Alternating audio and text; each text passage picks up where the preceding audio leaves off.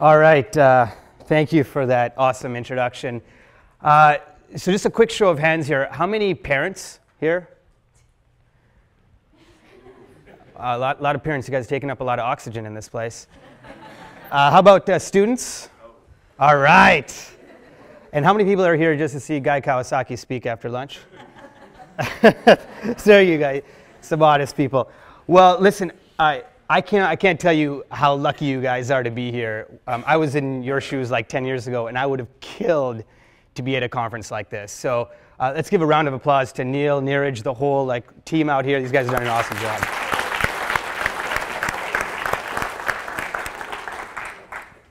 All right, um, so this is really for the students. I'm glad to see there's so many of you guys out here. Uh, I want to start by asking you guys, how many of you guys have jobs today. You guys have jobs? A few of you guys. How about um, in the summer? Any summer job folks here? Okay. Uh, how many of you guys, uh, by show of hands, liked the jobs that you guys have? Okay, about half of you guys. How many of you guys have worked in retail at a mall, fast food, anything where you have to serve your idiot friends? What? and you hate it, right? All right. Uh, I learned, I've learned a lot, um, thankfully, made a lot of mistakes. I think the most formative thing for me was when I got my first job at McDonald's. Um, this was my boss, my first boss. And this was my job. Uh, I don't know if you can see this very clearly. I could when I was working there. this is a this is the back storage area of McDonald's. I, you know, all the cool kids got to work at the front. You know, they, they, they were cashiers. Uh, they put me right in the back. And I don't know why they did that. I, I, I don't know if I wasn't good looking enough or because I gave free fries to all of my friends who would come but I used to work in the back. Now, in the back, what they made me do was organize all of the little cartons uh, for fries. Uh, now, I was, uh, I, was a, um, I was pretty good at academics. Uh, I was in this IB program at the time. And what I used to do after school to make some money was organize these fry containers. And I might be the only entrepreneur who's ever been fired from McDonald's. so about six weeks into it, my manager comes and sits me down. Uh, it was basically Ronald McDonald himself, sat me down and, and said that he had to speak to me for a few minutes. And so I said, you know, excellent, because anything I could do to get out of that damn storage area, uh, I would do. And he came and he told me that they had to let me go because I was working too slow. Uh, I think there probably could be better reasons for getting fired from McDonald's, but uh, for me, it was sheerly laziness. Um, that was very difficult for me. Uh, at, at, you know, at the age of 16, getting fired from McDonald's, and if you want to go and try to get another job in the city, and you've been fired from McDonald's, it's sort of hard to get, you know, a reference. Uh, when McDonald's has fired you. No other place in the city would hire me. And this was a big problem for me at 16 because I really wanted to work. I was really into school, I was really into academics, but I wanted to get some you know, experience on the side. I wanted to make some money on the side. And so having a job was really important to me. But I had to figure out what to do after this tragic event happened to me at 16. And what I vowed to myself was that I was going to take my life into my own hands. So at 16 years old, I was going to take life into my own hands and I was going to do something so that I would never, ever, ever, ever have to work at a fast food restaurant again. And so I began, uh, I began scheming with my, with my brother over here. Now, this is actually one of my buddies, one of my best friends, Hussein. Uh, this is from last week in Vegas. It was the best photo I could find of us together. Uh, um, we've known each other since we were five years old. And so he and I went to the same school together. He saw me go to McDonald's, get fired from McDonald's. He worked at a hardware store, um, a little less lazy than I, so he never got fired. And the two of us basically decided that we were going to start a company together. And so we started to scheme. Now, we were always into computers from a young age. From a really young age, we were into computers.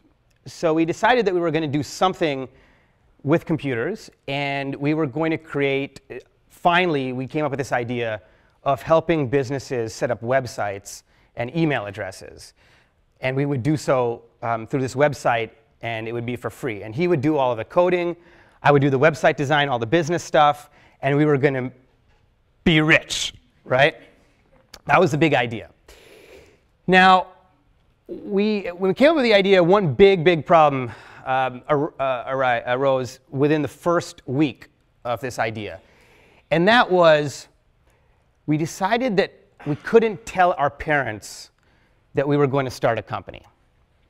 Now, for those of you who, uh, in fact, I'm sure most of you are in this position, um, you know, if you have, you know, you have parents who are always writing you all the time, always trying to check your grades, always trying to push you, push you, push you. Uh, some of you may not even be here on your own free will this, uh, this morning.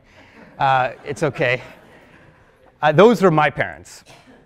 And so, if I told my parents that I was going to sort of sacrifice this IB program, International Baccalaureate program I was in, and this whole fast track to get into college, for starting a business on the side because I got fired from McDonald's, uh, there would have been two options for me the belt or the slipper.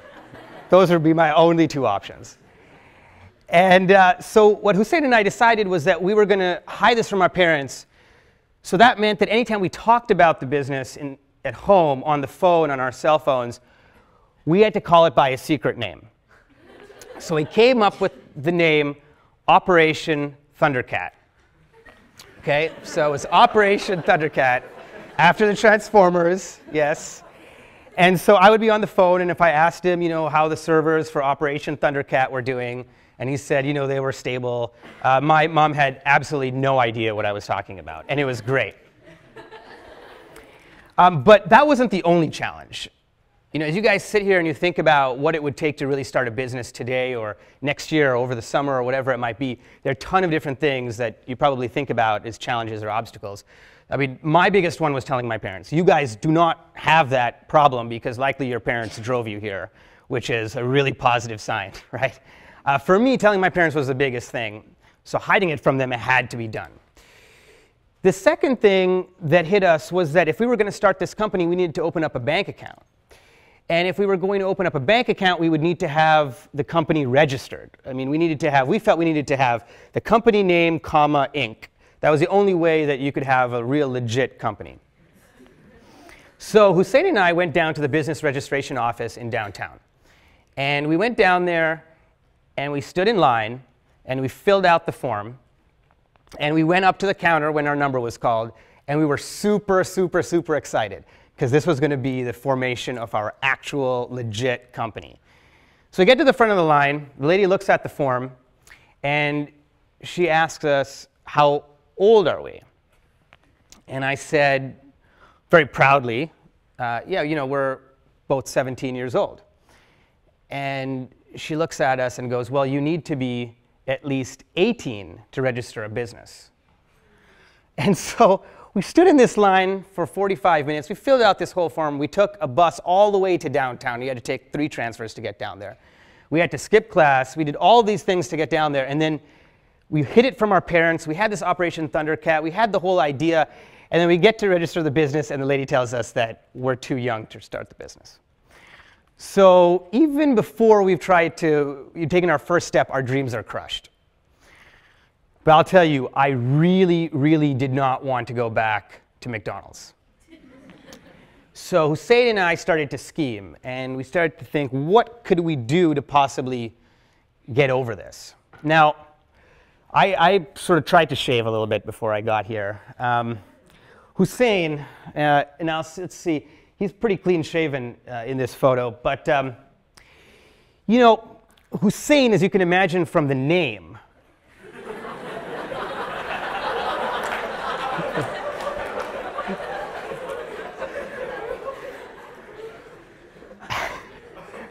Hussein had a full beard at six and a half years old.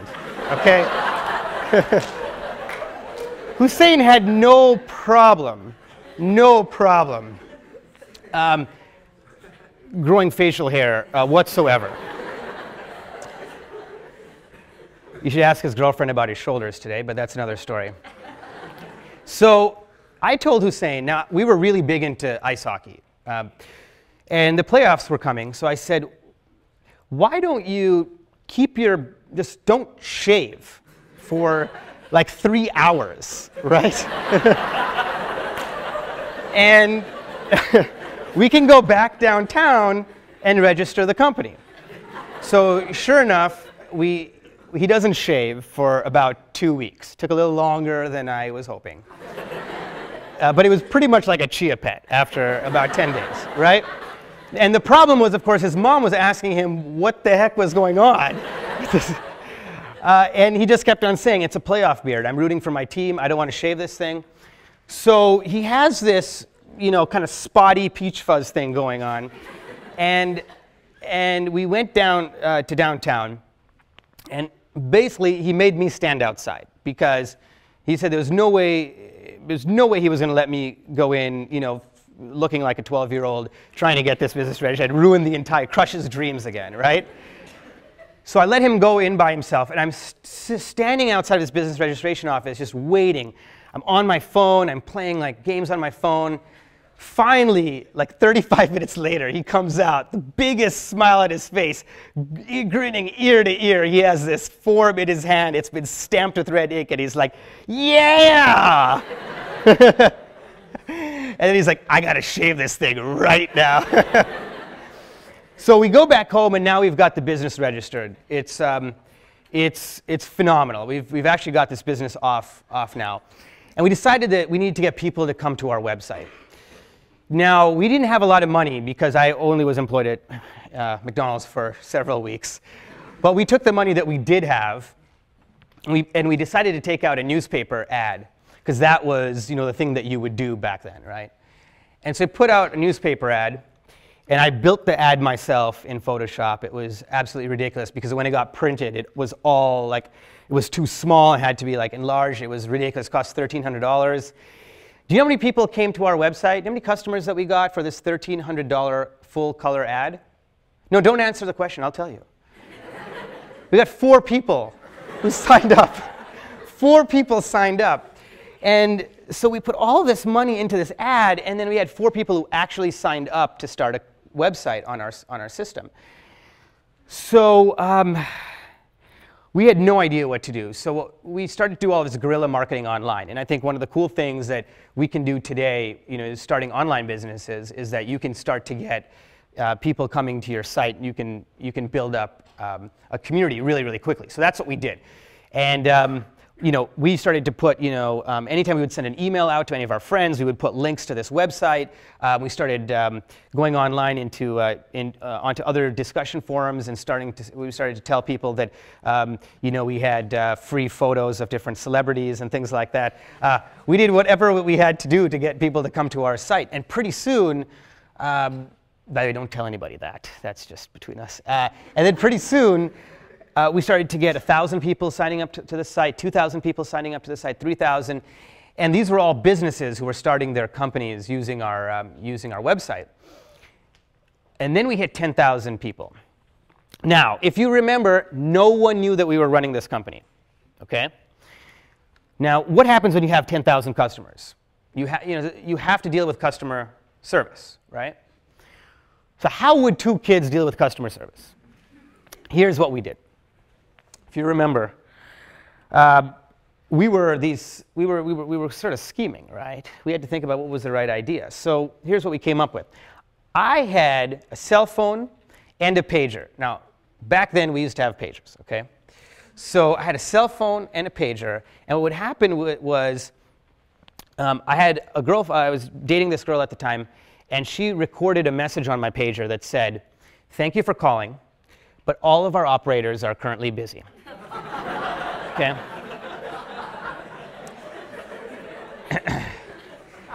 now, we had to do this because if any of our customers knew there were these two 17 year old Indian guys with like one with a full beard, right?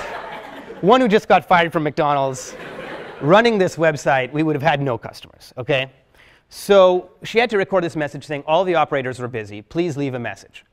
And someone will return your call as soon as possible. Now, what would happen was I would be in English class, and the pager would go off because a customer would call. Now, if a customer called, they'd leave a message on the pager, and we said that we would return your call in four hours because we really believed that great customer service was important, even at that young age, right? And um, so, as soon as the pager would go off, I would put my hand up. Now, I don't know if, you know, this is probably something very familiar to you guys. Put your hand up, and it doesn't matter what the hell you have to do. It was always, um, teacher, I, I, um, I have to go to the bathroom. Is that okay? yes, Rahim, no problem, go. I would go, I would go outside, I would check the page, um, check the message, I'd call the customer back and I would say, uh, uh, hello, this is Rahim, thank you for calling. Um, you know, Mail BC, I got your customer support message, uh, you know, how can I help you? And then I'd solve the problem, whatever it was, and then I'd go back into class.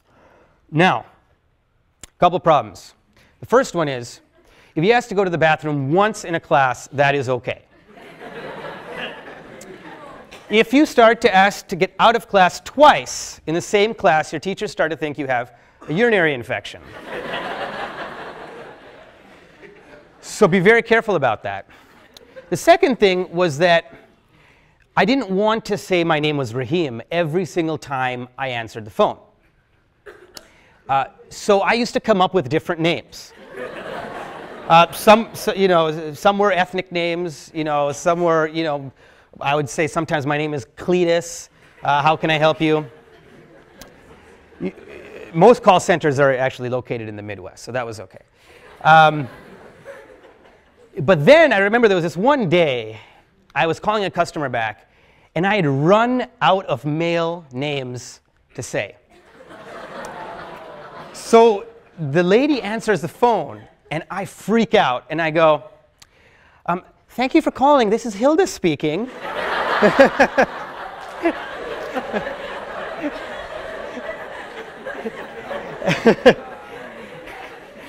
and I had to run through the entire call sounding like a 48 year old woman. but like I said, you have you got to do what you got to do, right? You can't let anything get in the way of your dreams. Now, we start to get towards the end of the school year. The college, I've, all my college applications have been submitted. I've gotten my acceptances to places. I was really stoked. I, I couldn't be happier. But the business has grown. It's now 25,000 customers. We get, um, I get home one day, and my mom and dad are sitting in the living room, and they're looking at each other. Now, that was odd for me. okay. My mom and dad love each other, but they don't spend too much time on the same couch looking at one another. Okay? So, but I did the usual thing that I do when I get home. I got home, I took my shoes off, and I started to run upstairs. Went to my room, got on my computer. And I'm halfway up the stairs, and my dad goes, Rahim! like, oh, damn. All right, so I come downstairs, I get into the living room, I say, uh, What's going on? And they said, Rahim. That's how my dad talks. Rahim, we know. what? what, what? so I'm not saying anything. What? And I'm thinking in my head, what is he talking about? This man is crazy. And I said, what, what, what are you talking about, Dad? And he goes, Your principal called today. I'm thinking, why would my principal be calling my house? Now, I had, I had skipped out about eight classes that week. But that was for good reason. Our servers had gone down. I had to go downtown. I had to go fix the servers. Okay. Okay. but I'm wondering what the heck is going on. So he says, Rahim, your principal called. Now I'm going to get out of the accent because it's too hard to. So he said, Listen, your principal called. He said, uh, he said, You are missing a lot of class. So I, I knew that I was missing a, I was missing a little bit of class, relatively. and then he said, and your teacher said that uh, you miss a lot of class. You go out of the class sometimes once, sometimes twice. Same class once, sometimes twice. Oh my God, where is this going? And then she also said that another teacher said that you are walking around with a cell phone and a pager inside your class. And you are going out of the class once, sometimes twice. So I said, What is going on here? And I'm thinking I am screwed because they just found out about Operation Thundercat. and I may need to go back to McDonald's this summer. so he said, Rahim, we know. We know, Rahim. Rahim, you are dealing the drugs.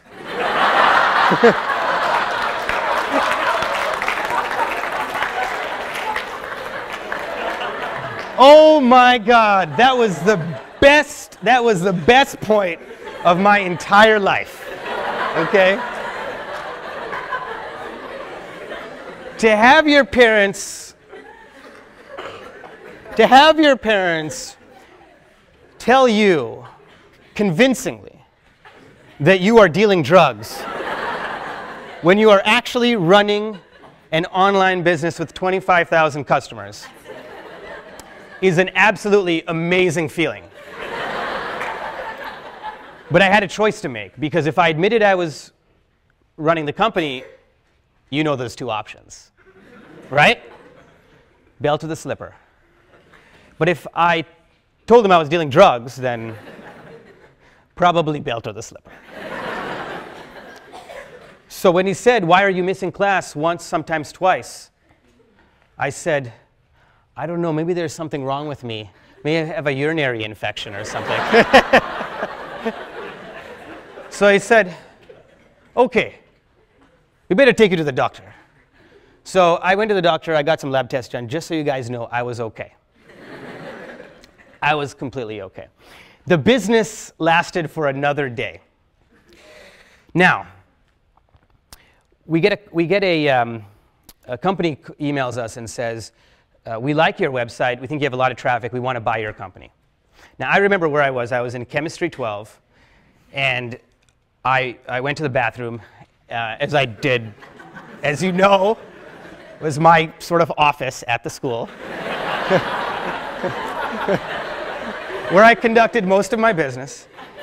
And I, um, I checked the email, and this company was serious. They, they wanted to buy the company. Now, so I, I, called them up. We had a conversation. They said they, we, we, it took about probably about a month or so, and then they, they sent us a, a contract. They sent us a, an agreement to buy the company. Now, if you remember, um, I could barely read the, you know, like that, uh, the timesheet at McDonald's uh, a couple of years back, let alone this agreement to buy the company. So what do you do? Now, I did the only thing that I knew. And that was I, I went to Hussein and I said, let's, let's, um, it's time to get that beard on, first of all. Second, I just like the beard. And the second thing was, let's open up the yellow pages and let, us look under attorneys and let's call a lawyer. So we looked under uh, A, and it was Abrams, Abrams and Abrams. And we called up Abrams and Abrams and we said, hey, listen, we're these two kids. Um, we just got an offer to buy the company, but we don't know how to read this document. Can you please help us figure this stuff out? And they said, absolutely, we can do that. Like, yes! And then they said, by the way, it's $595 an hour. Now, I was making $6 an hour at McDonald's, so that seemed like 100 times what I was getting paid at McDonald's to pay this lawyer for one hour. And I figured it would take more than an hour. So I said, Oh, you know what, sir, that's just far too expensive for me. I, I just can't pay that. And he said, Well, we really believe in our service here at Abrams and Abrams. Why don't you come for a one hour free consultation? So I said, a free consultation? That sounds amazing. So I went down, uh, may or may not have involved skipping class, and we went to go to the lawyer. And we took the contract down there.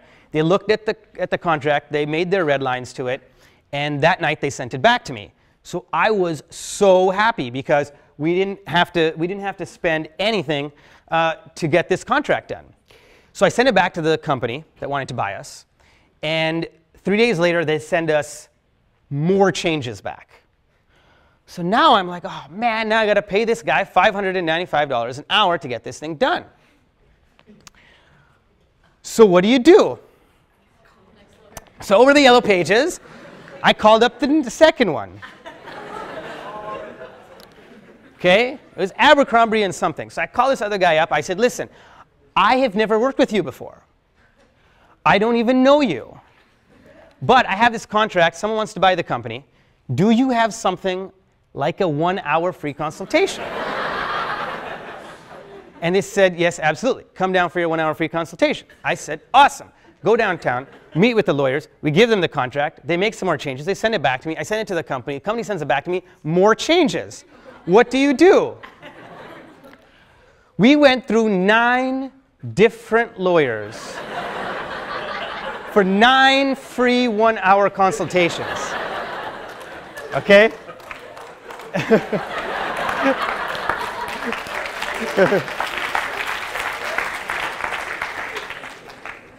and we ended up selling the company for a million and a half dollars. Didn't spend a single dime on a lawyer.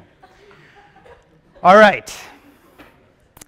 Uh, and then, and then I should say that um, just so you guys know, and this is not a joke. This is, I mean, this is not a funny part.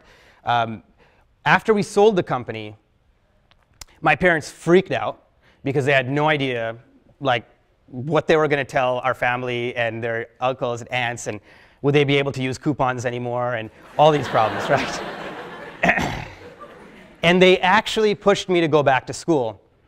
And I'll speed the story up real quick because I want to get, get to the, the, the takeaways here. But uh, what ended up happening was I said, I don't see any value in school whatsoever, so I'm not going to go. So I didn't go to school. I ended up starting another business. I ran it for two years. I thought I was on the top of the world.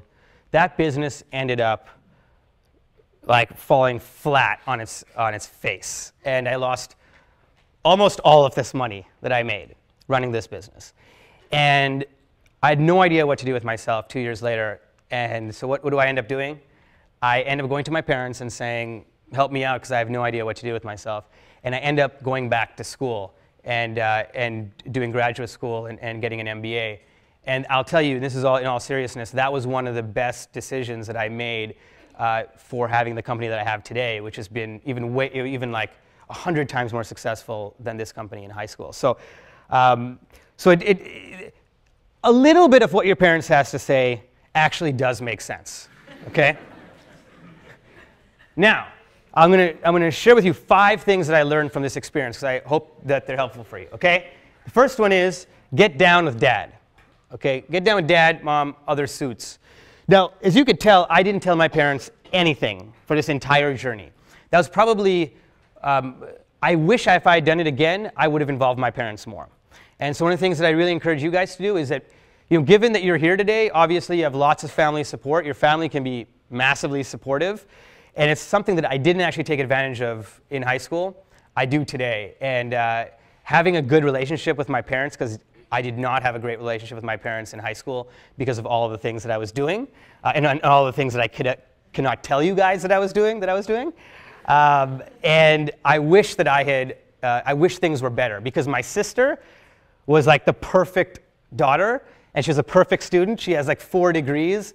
She has been, she's incredibly successful. She had an awesome relationship with my parents. And that was, I think, one of the, one of the things that I regret that I didn't have. I was such a rebel when I was that age. The second thing is get a crew. Now, what do I mean, what do I mean by this? Two things. Number one, how many friends, uh, you know, if you're walking down the hall, you guys may not have this issue, but um, maybe you do. Walking down the halls, you see a friend of yours and they're like, hey, let's go to McDonald's. I say McDonald's just because it's close to my heart, but it doesn't have to be McDonald's. It could be let's go to the mall. Let's go somewhere, you know, let's go somewhere else. Or like over the weekend, um, you know, always trying to make you skip out of whatever activities you might you might um, actually have. Um, I had a lot of friends like that, and so. Um, what I had to end up doing was I became better friends with Hussein because he and I were like so similar. We were always on the same wavelength, and you know we went, we did all the things that all of our friends did. We went to all the parties. We had such a good time, but um, we were like really focused on not ever having the opportunity to get fired at McDonald's ever again. So it brought us really close together, and he ended up being a really good rock for me. I surrounded myself with, with people who were really, really good. Um, the second thing is that I kind of formed this advisory board around me. So today at Involver, which is the company I run today, we have this awesome board of directors. You guys are probably familiar with the board of directors, the people that you go to if you're running a company. They kind of help you run the company in a way, in a really simple way, right?